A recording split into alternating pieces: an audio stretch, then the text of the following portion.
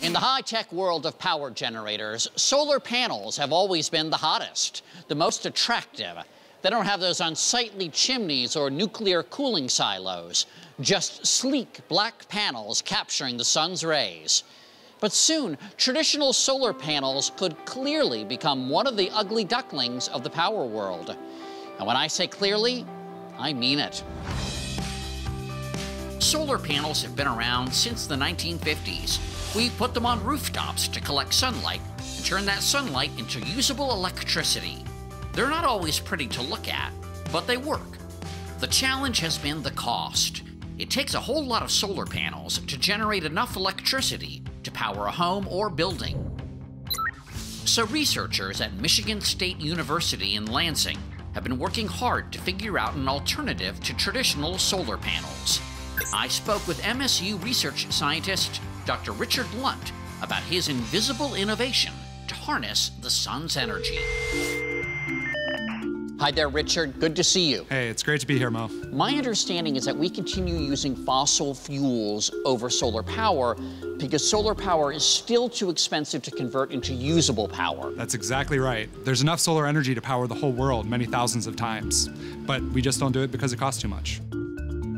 In the 1970s, scientists discovered that you can trap the sun's energy in glass or plastic using special colored dyes that absorb light rays and direct them to the edges of a glass plate, where attached solar cells can convert the light's energy into electricity, in this case, to power a small fan. Imagine if all the glass in your home could be a power source, just like this glass plate.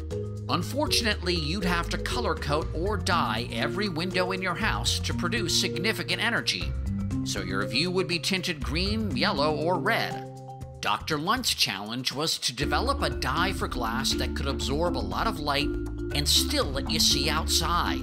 In other words, a clear dye. This required some crazy chemical engineering. I heard that you and your students designed new molecules for your clear solar panels. How do you even do that? so you rely on inspiration from nature and you take molecules that we have found and we try to make them do something new and exploit those properties to make a new kind of application, a new kind of solar cell. After two years of experimentation, Dr. Lunt and his team have discovered a formula for creating a clear, light energy absorbing dye as of now, a glass plate painted with Dr. Lunt's clear dye absorbs about 20% of the light that hits it. Do you envision a future where glass buildings power themselves? Absolutely. Even with the metrics that we are able to achieve today, this looks like a very good energy savings, saving some buildings as much as 10 to 50% of their energy consumption. It won't be the only solution, but we see it as being a very important solution. Thanks, Richard.